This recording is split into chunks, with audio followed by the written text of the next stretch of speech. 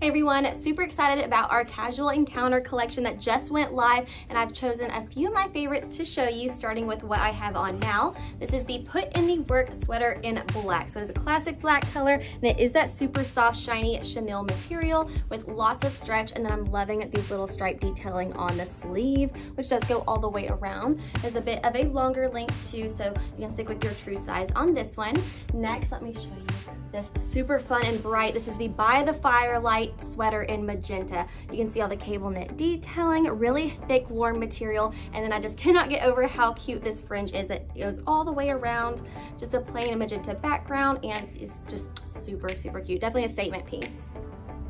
Next, you can never have too many cardigans. This is the Make It Up cardigan in cream. So a really perfect neutral cream color. You'll get so much use out of this. I know I'm just nonstop wearing cardigans all fall and winter long, especially around the house too. So I'll come up close, you can see that texture knit on it. And then it is more of a three quarter length sleeve.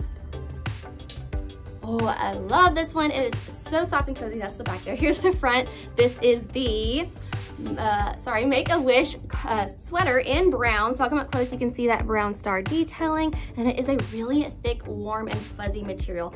Lots of stretch, and then it, as you saw to begin with, it is that plain background too. So super cute, definitely something you can make casual, but then even dress it up with a skirt too.